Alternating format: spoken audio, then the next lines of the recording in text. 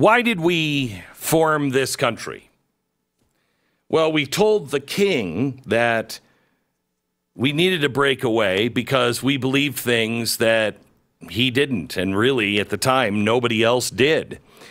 We said we hold these truths to be self evident that all men are created equal, endowed by their Creator with certain inalienable rights. And among those rights are life, liberty, and the pursuit of happiness. And governments are instituted among men to protect those rights. That was a unthinkable thought, unspeakable at the time because we were all ruled over.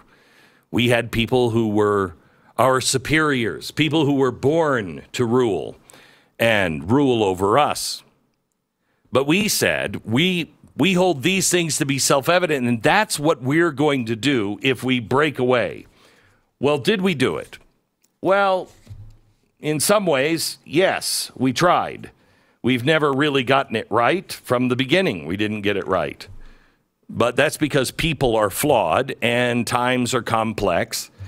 And changing people to do the right thing sometimes will take generations to do.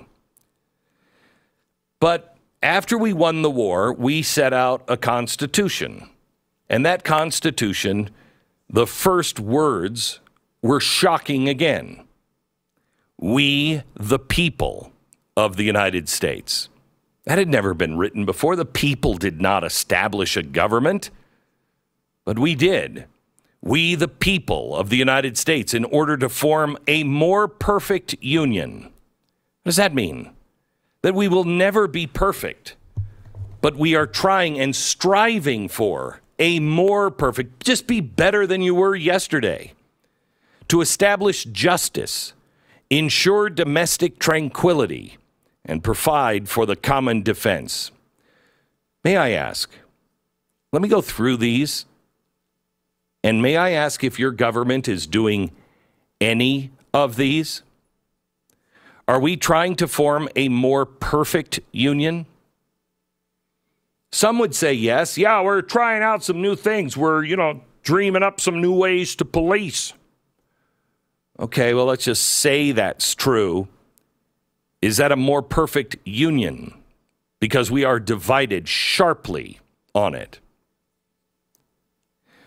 to establish justice. Do you feel justice is being served? I think we have destroyed justice. Ensure domestic tranquility. Is our government working towards tranquility or is our government dividing us? To provide for the common defense. Are they? Or are they now turning their guns, their investigative bodies, the spy agencies against the American people. Are they providing for the common defense? Are they doing that at the border? To promote the general welfare.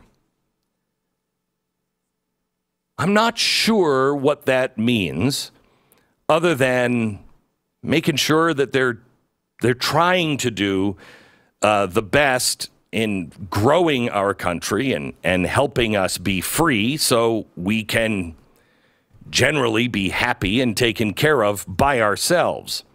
And the most important one is secure the blessings of liberty to ourselves and our posterity. Are we doing that? Is our government involved in making sure that we have a country left to give to our kids. Because this those are the reasons we established this constitution. And if this government is not doing those things, then we're failing as citizens who run the country. Right now, you have Joe Biden who is who is gaming for absolute power. You can always tell how somebody has absolute power because they can break the law openly and never fear any repercussions. You know, they said that Donald Trump wanted to be a fascist. Boy, he was the worst fascist ever, wasn't he? I mean, the guy couldn't get away with anything. By the way, I would just like to say for a guy who's investigated by every single spy agency in the world, vetted in ways I can't even imagine. For them to only come up with what they've come up with, he's got some documents in his house. Really? I mean, even I'm surprised. The guy was building buildings, you know, in New York City. That's not usually a very clean business. Nothing? And yet, the fascistic part of our deep state, they decided he's guilty, and so they will find something. Is he the one that can break the law openly and never fear any repercussions? To be a dictator, you have to have power enough that you can even violate the ancient creeds and the deep seated taboos. You can have your son doing cocaine and hookers, and you can lie about all of it. You can take money from the Chinese as president of the United States. I mean, I don't think we get any deeper than the the ancient creeds and deep-seated taboos that just should not be violated. More than that, the president on the take from another country to be a dictator, you need the ability to commit crime in broad daylight. Now, we have heard abuse of power for a long time. We heard it under George W. Bush, more about it under Trump. But what about Obama or Biden? In his first week alone, Biden signed 21 executive orders. That's far more than Trump, Obama, Bush combined. Now, Friday, he added another one to his list by issuing an order authorizing the Secretary of Defense and Secretary of Homeland Security to call up the military and the Coast Guard reservists to support NATO operations on the alliance's eastern flank. The order authorizes the Pentagon to send 3,000 reservists for deployment to support Ukraine in Operation Atlantic Resolve. We also found out last week that the president is sending even more weapons. We have found out that now it looks like our fighter jets are already over there. Did you know that? Did you know that when the president gave his speech in Helsinki, he said there's overwhelming support from the American people. There's overwhelming support from the members of Congress, both the House and the Senate, and both parties. Some extreme elements in the Republican Party diverge from this unity, but we're all in. Is that the way you feel? And I, is that the way your neighbors feel? The people who don't necessarily agree with you. Is that what they feel? We're all in?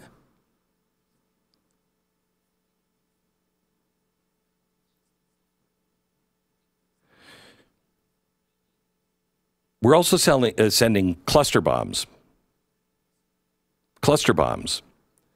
Those are basically they become landmines and they can they can go over a huge huge area and they just wait there for somebody to step on it or a kid to play with it and then they blow up.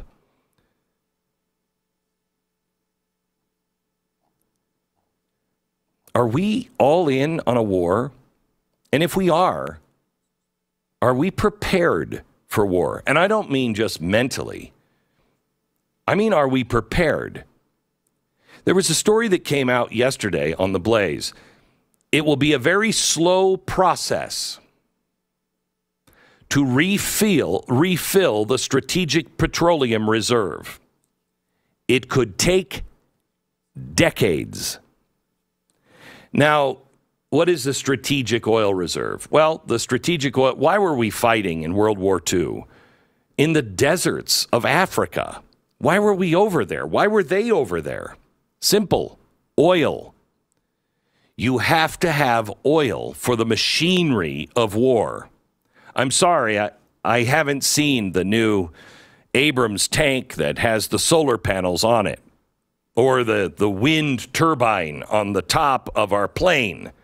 So when the turbine turns because of the wind, the jets will turn. It doesn't work this way. We have to have oil. The SPR is at a 40 year low now. Why did we release 211 million barrels for prices at the gas pump? The reserve has a storage capacity of 714 million. It is currently holding 346 million barrels. This is 40% of it gone.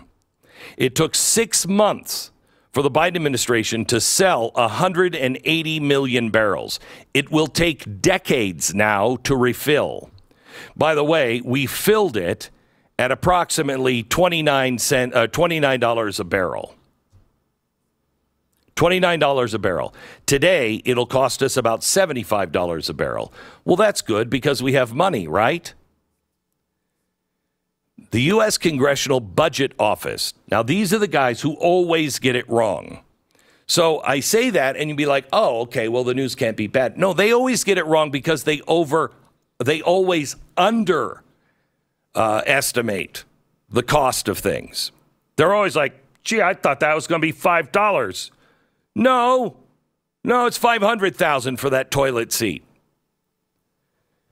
The national debt, they have come out and said, will be nearly twice as large as the U.S. economy in 30 years. Our debt will be twice as large as our economy. Does that sound good? They just released their forecast. The U.S. Treasury has reported $1.4 trillion deficit so far in the nine months of this fiscal year. If you look at the last 12 months, we've added to our debt $2 trillion.